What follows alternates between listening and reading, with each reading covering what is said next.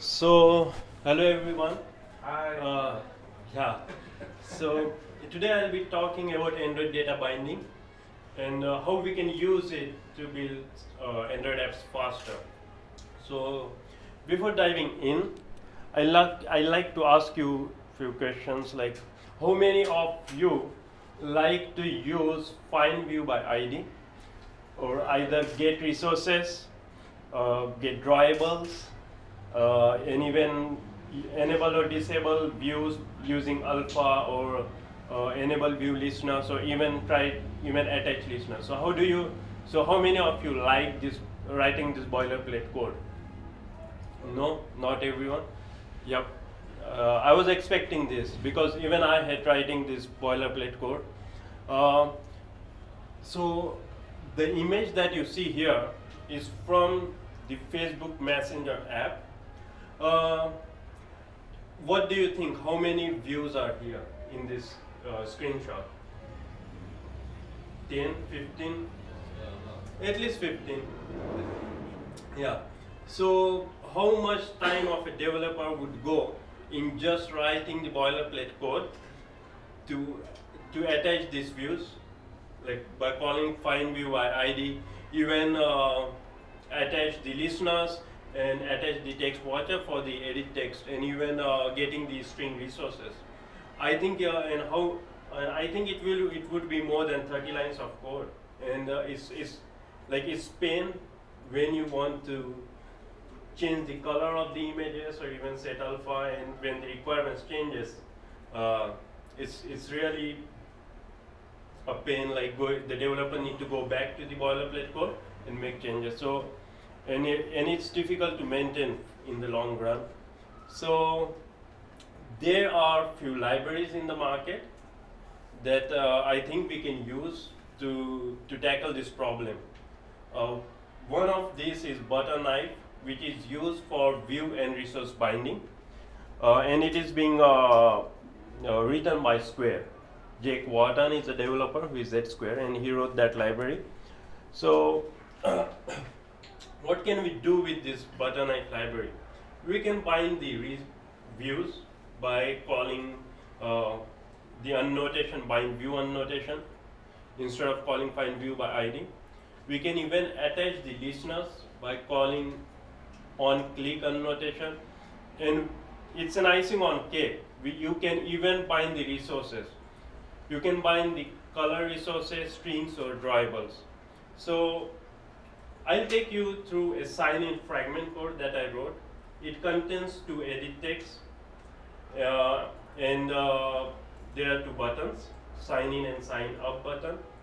Whenever you, you enter an email and a password which has a character length of uh, greater than 6, the sign in button gets enabled and even it changes the alpha uh, of that email of the sign in button. So let's see how I bind this view and how I attach the, resources, the string resources and atta attach on-click listener using Butterknife. So here is the code. Uh, I think it's kind of uh, I'll just try to minimize the image and okay. Yep. So this is the sign in fragment that I wrote. You can see that I'm just using annotations providing it the resource ID of the resources. Maybe even if it's string or any view uh, or the ID to attach an on-click listener. I'm just doing it using annotation. No find view by ID no anonymous inner classes for on-click listeners this code is this code is just readable and uh, and easy to maintain. It's all these listeners and views are being attached on the uh, on a single place. So looking at this, uh, it feels nice. Okay, we can do we can attach resources and views, but as a developer, I want something more. What if I'm I'm able to use an expression to change the to change the alpha of an image to attach, to make the views uh, visible or invisible depending on some preconditions. And it will be really nice if I am able to attach the edit text change listener, the text watcher or even the uh, edit actions whenever I click on turn button in my keyboard. So let's talk about model view view model and how I used it to write an simple sign-in app using Android data binding. So what is model view view model? It's an architectural pattern more similar to MVP that we saw previous month. But they, there are subtle differences between MVP and model view model. The views here are the XML layouts and even the activities and fragments. The views attach the commands or listeners, uh, the commands that need to be called from the view model. So the view model actually has all the listeners, the text watchers, and even edit actions. The view just knows what kind of listeners or watchers I need to, the view needs to call and the view model sends the notification on, on, this uh, when these actions complete. The view model in turn updates the model about any data changes and the model validates this data and passes back the result to the view model. The subtle difference that we need to that, that is between MVVM and MVP is the view model contains Android framework related code, which wasn't there in model view presenter. That's why it, uh, the model view presenter is kind of robust. But with Android data binding, model view model is being widely used. There are a lot of developers using this, and you can Google it and see really good examples of the apps written with it. So the screenshot here is about the sample app that I'll be showing you and I'll take you through the code. So the text, the edit text, the sign in button and the sign up button all go inside the view. All are inside the XML layouts. The edit text watchers and the click listeners for the email and password and sign in and sign up button live in the view model. I have a sign in view model for this and there is a simple uh, sign-in model which, which contains two strings, email and password. So um, moving forward, we'll just see the example. Whenever we enter a valid email and password, it changes the color of the sign-in button. And uh, we'll just go through some code. So you are more aware of how the Android data binding works. So to enable Android data binding, uh, there are some prerequisites. You need to have Android Gradle plugin 1.5 and above.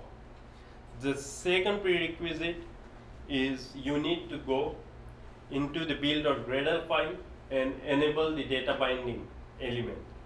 Uh, so after that, uh, here is the XML layout file that I have written, you'll see few difference here. There is no root layout, linear layout uh, at the top of the XML file, but there is some, some new element called layout. This new XML uh, element is being added by the Android developers so the compiler knows this XML file will be used for data binding. So it's not a regular XML file, but it's something that's going to be used for data binding. There are two more element, XML elements, XML types added.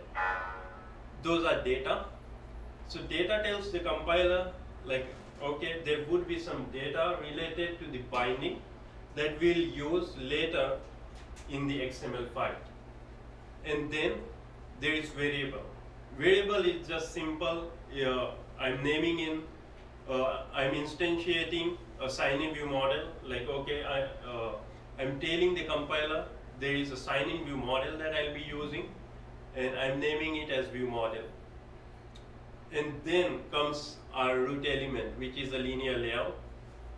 You can see there are two edit texts and there are two buttons.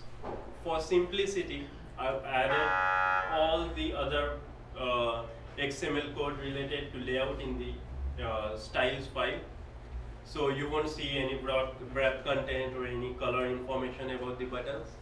So there are two edit text and two buttons. The edit text are being attached the text watchers. So whenever a user types in an email and password, the uh, uh, the view gets notified about those changes. So, and you can see that there is an at at the rate symbol with two curly braces, and it contains uh, and it contains the name of the view model, followed by the uh, followed by the method get email text watcher. This is called as an expression uh, in the new Android data binding uh, jargon. And uh, I'm also using this expression on the sign in button. So we just check if the input is valid, set the alpha to 1.0, otherwise just disable that. I'm also using this expression to enable the sign in button. So the same kind of, uh, and I'm also attaching li click listeners for both sign in and sign up button. So moving forward, now I'll show you how I'm using this XML file in the sign-in fragment. So this is the sign-in fragment. We are inflating the uh, the XML file that we saw in in the similar way what we used to do, what we are doing right now, but I'm also adding a single line of statement to bind this layout and set my view model. So if you see the fragment sign-in DB binding class is being generated by the Android data binding compiler. And the, the class name is, is generated by, according to the file name. So my XML file has had this name fragment underscore sign and sign in underscore in underscore db. And so it just stripped off the underscores and it created that class. Uh, so I'm just binding the layout to that class telling it okay uh, you you need to bind data for this view. And I'm also passing it the view model. So so the view model variable that we declared will use this sign in view model. Um, you can also go through the fragment sign-in uh, DB binding class generated by the Android compiler, and uh, but you need to clean and build the app if you want to see this class, and uh, this class is pretty lengthy, and uh, Android asked us not to change anything inside this class. It's like the resources, uh, Android resources file. We don't need to change anything inside the class. But it's really useful to know what uh, what kind of listeners are there and uh, what kind of methods this class provides to inflate the layouts and even bind the views it's really helpful and you can learn a lot from this uh, the another have to extend from anything? hmm? Does ViewModel have to have a base class? Is there a base ViewModel class? uh, the view model uh, no Okay, cool. Yep. So it can be any class, and you can just provide it uh, as a variable. You can even use views, the Android built-in view classes. You can use those also. So here is the sign-in view model. Uh, so I have another. I have a sign-in model class here with the data listener. Uh, I am creating the sign-in model uh, uh, class in the constructor and uh, just assigning the, these default values for email and password. Uh, and then we have these text watchers and uh, you if you remember we use this text watcher in our xml file. By just calling view model dot get email text watcher and get password text watcher. I also have the sign, uh, sign in click methods that we used in the xml file by calling view model dot on sign in click. So this sign in click methods just don't do anything but call the data listener which is implemented by the fragment and it just spits out the toast message it's, and it's similar with the sign up uh, on sign up click So in this case, you had two text inputs. Yes. What if the form was longer? Is there a way to make more of a dynamic watcher that it kind of says, here's the value, and by the way, here's the field, and that way you don't have to set a separate watcher for each one? uh, yeah you can do that way also Yeah. yes but uh, just for simplicity i had yeah i just took these two watches. Okay. and uh, I am calling sign in model. Dot set email passing it the string. Uh, same for the password. Yeah. I'm passing it the password. So now we'll go to the sign in model. As you can see there are only these two fields email and password. But uh, the most important thing to consider is I'm extending a base observable. So why am I extending base observable? Because it's just uh, email and password here. I'm extending it to tell my view that okay, I got a new email string in my set email and just check if there are any views that need to be enabled for on click or if there is some there are some views that need to be made visible so that's why I need to extend the base observable class. And the method that I call to tell my view to uh, to look for these field changes is notify change. So notify change actually notifies for any field change in my model. So even if it's email or password all field changes are being notified. You can do it alternatively so if I on, if I want to notify only about the e- set email uh, email change I will use the bind note bind bindable uh, notation. And instead of notify change I'll call notify property change.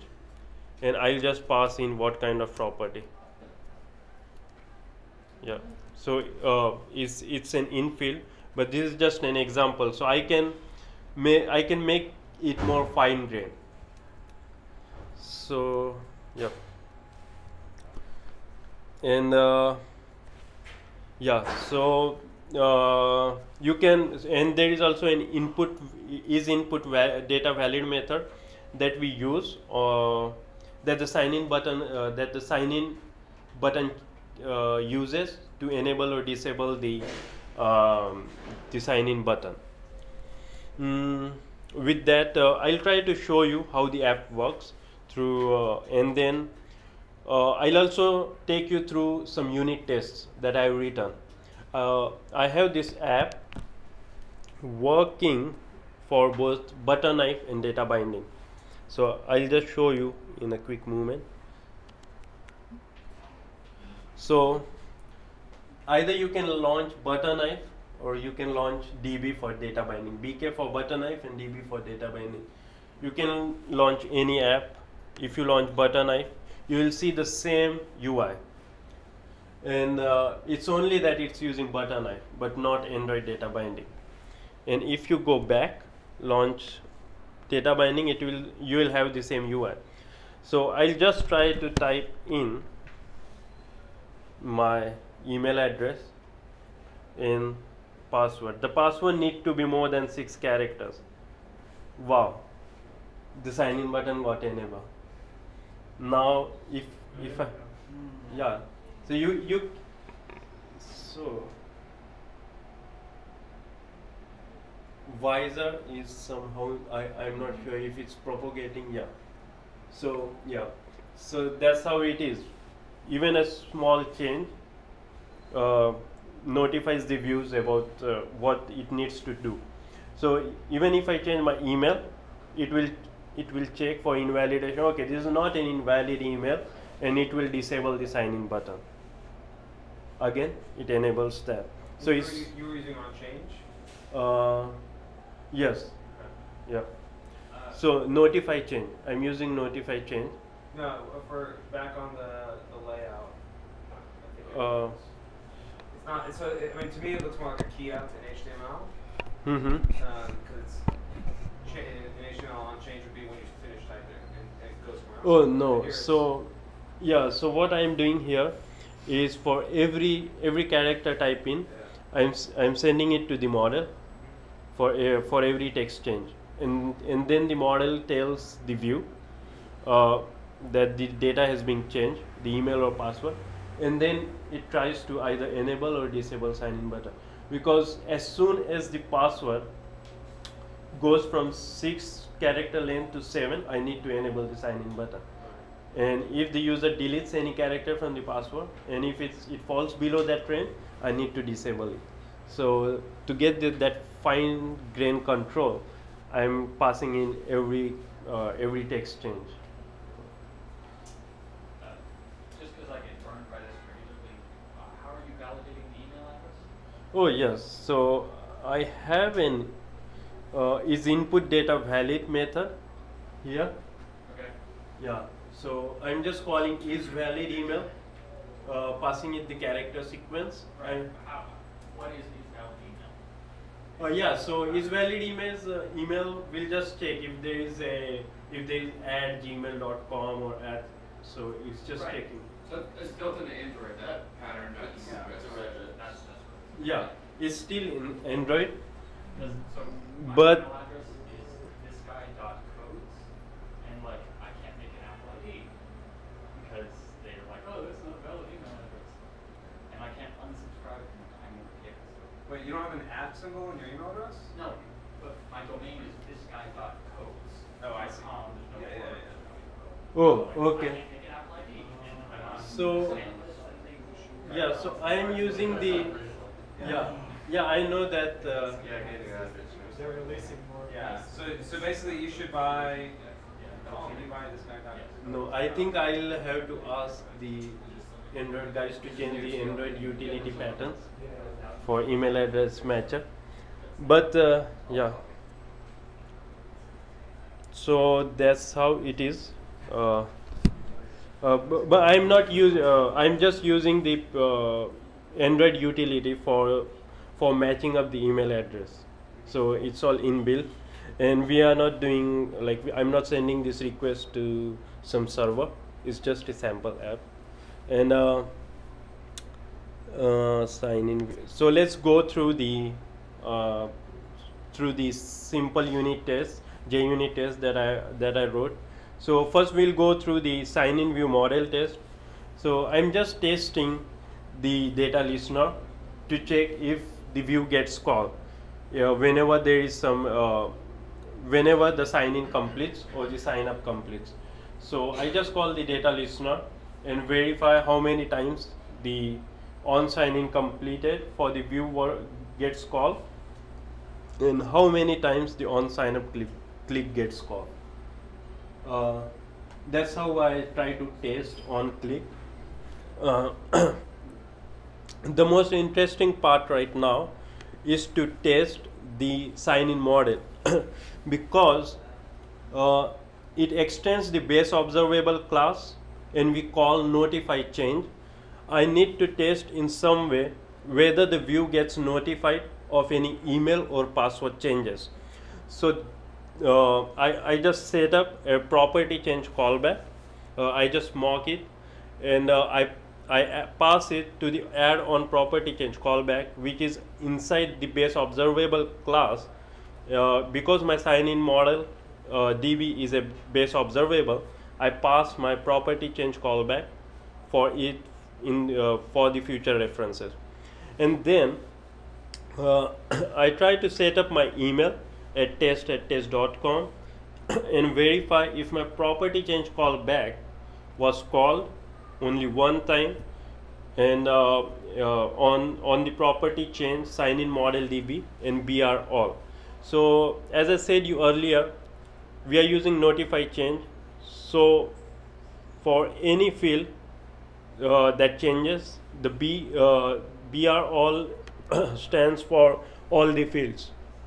So if if you add uh, if you add bindable like the base observable for for more specific fields, you will get that here in the BR class, and this class is generated uh, by by the Android compiler like when you build the app.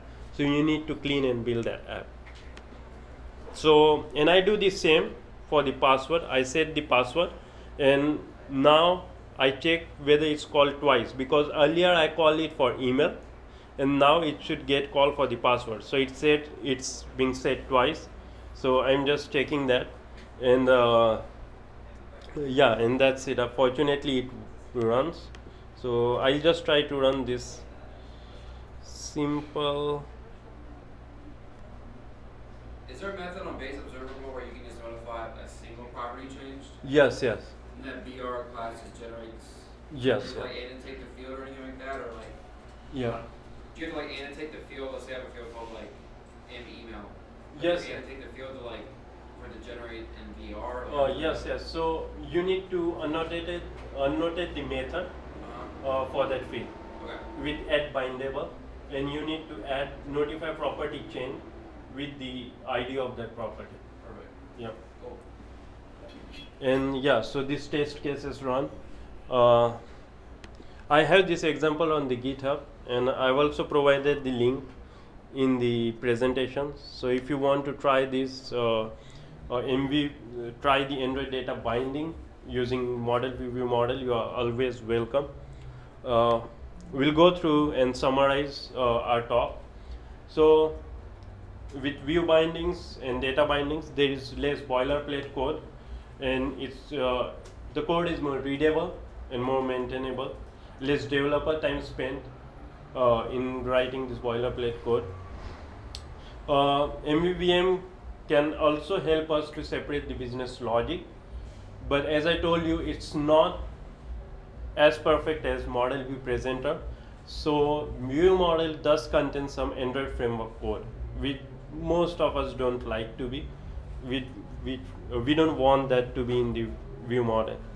Uh, writing unit tests is much easier. As i uh, show you, showed you two JUnit tests uh, and it was much easier because there is this separation of concern and uh, also Android Studio sometimes shows valid expressions as errors and I'll, sh- I'll show you the example.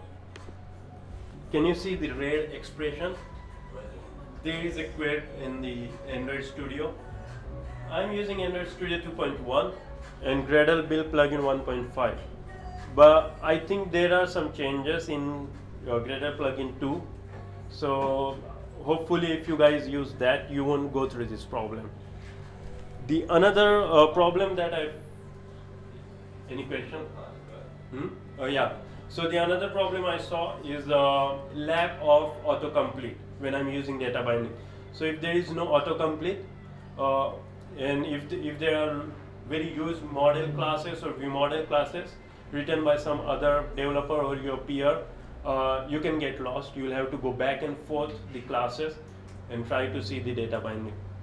Uh, yeah, so these were some problems, and uh, I hope like uh, you all use uh, Android data binding.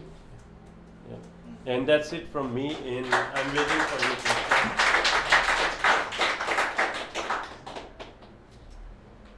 So I kind of have a question. Uh, I'm actually a front end guy who just recently started doing Android development, and like we, we see like these kind of like data binding models. We saw them in like frameworks like Docker and stuff like that Yes. front end land.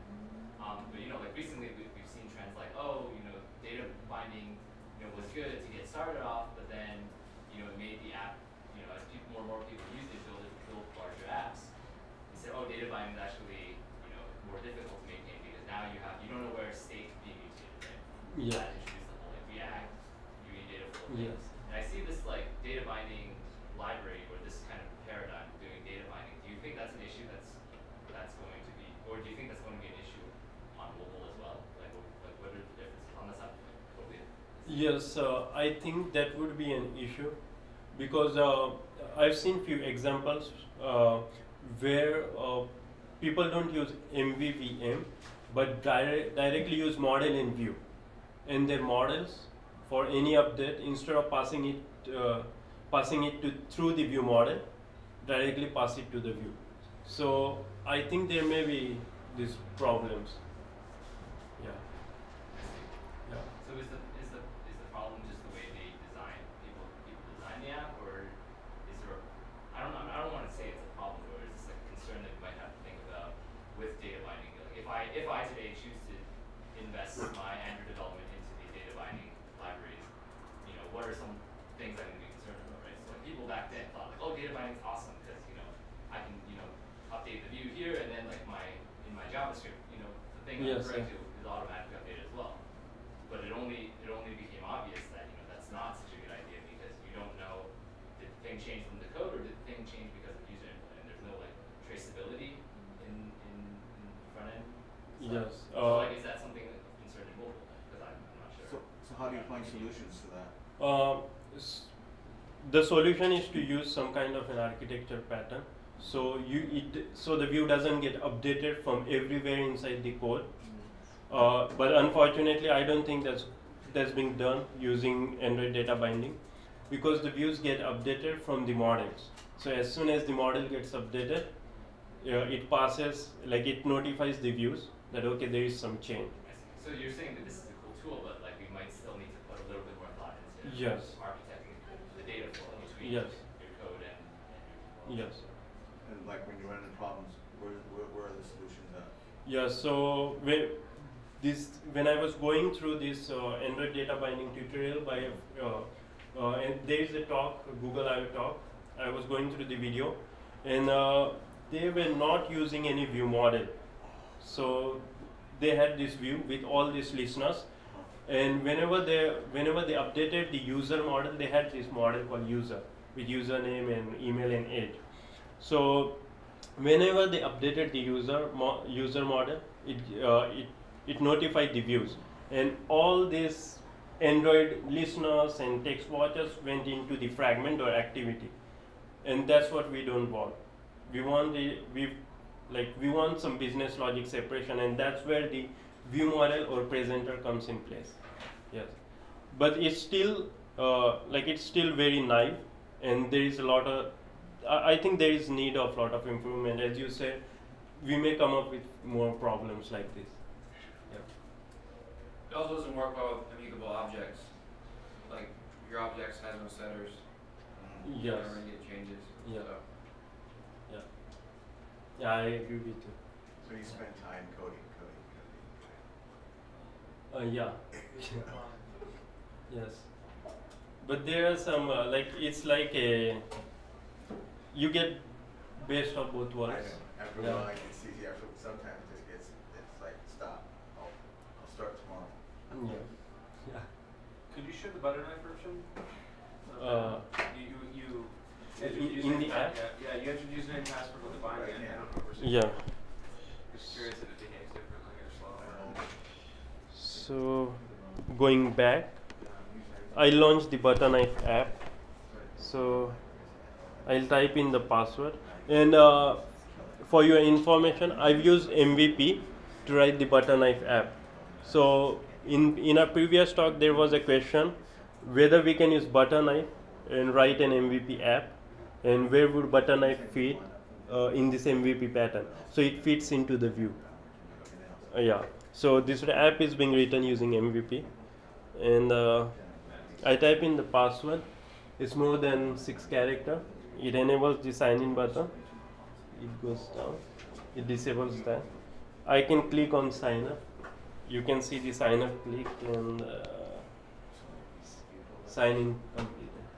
It behaves the same way. Both apps are same. The UI is same. The implementation is different. So you had, and when you said earlier, you know, maybe it's three lines of code if you did it yourself. I'm just curious, you know, if you look into butter knife, how many lines of code is this? Uh, the the library itself. No, I haven't seen into butter knife like how many lines of code it is. It's But uh, it basically like generates an adapter class for every single file that binds, Yeah. and it's pretty long. Um, it's already in class like per binding as well.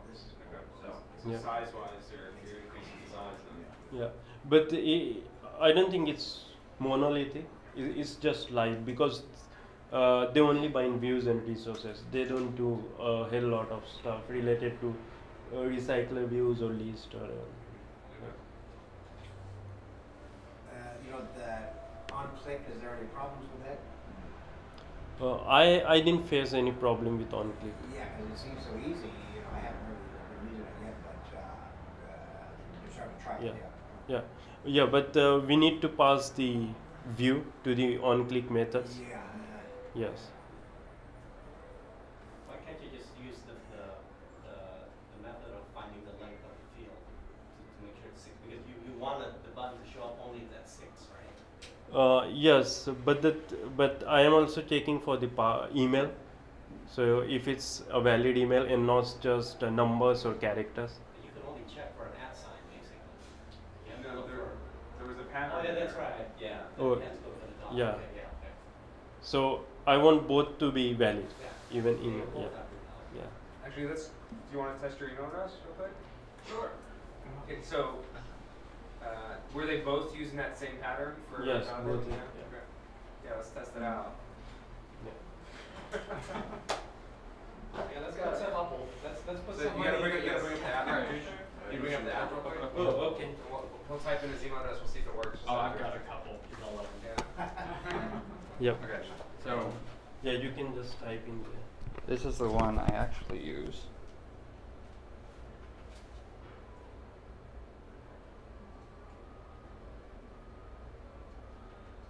Codes. yeah, it's working. All right, all right. So It's a fairly simple model. Yeah. Just At something dot something. But I've got a much more exotic one. Walmart. And I apologize in advance if this offends anyone. But it's not that bad.